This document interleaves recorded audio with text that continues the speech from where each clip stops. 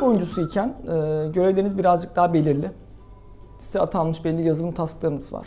Bu tasklar dahilinde ilgili geliştirmeleri, e, ilgili çalışmaları yapıyorsunuz. E, tabii kendinizi güncel tutmak için her zaman e, yeni bir teknoloji öğrenme, yeni bir kütüphaneyi işte nasıl kullanırım onu bilme, onun üzerine araştırmalar yapma gibi işleriniz de var bunu yaparken. Ekip olarak çalışıyoruz. Bir ekip oyuncusu olmanın gerektirdiği şekilde eğer ekip arkadaşlarımızdan bir tanesi hani bir noktada takıldıysa, onun çözemediği bir problem vesaire varsa ona yardımcı olmak gibi görevlerimiz de var.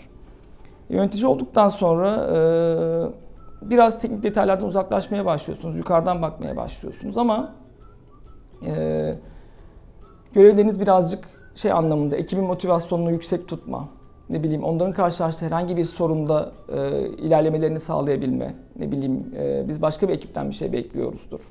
Onların planında bir gecikme vardır, onun onu engellemeye çalışma veya e, açtığımız bir kayıt vardır, bir başka ekibi beklediğimiz için o kayıtta e, biz ilerleyemiyoruzdur. O kaydı belki öncelik verilmesini sağlama gibi görevleriniz olmaya başlıyor. E, biz yöneticilerden veya müdürlerden aslında teknik dünyadan çok kopmamalarını istiyoruz. Çünkü her ne kadar kod yazmasak da hani yönetici olduktan sonra e, bir şeyleri ölçümleyebilme, e, bir işin nasıl yapılabileceğini, belki alternatifleri değerlendirebilme konusunda bu teknik bilgiye de ihtiyacımız oluyor yönetici arkadaşlar olarak.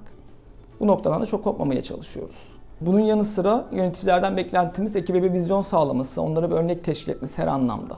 E, yenilikleri takip etmesi bunu ekiple paylaşması, onlara hani liderlik etmesi genel anlamda da bir beklentimiz var yöneticilerden.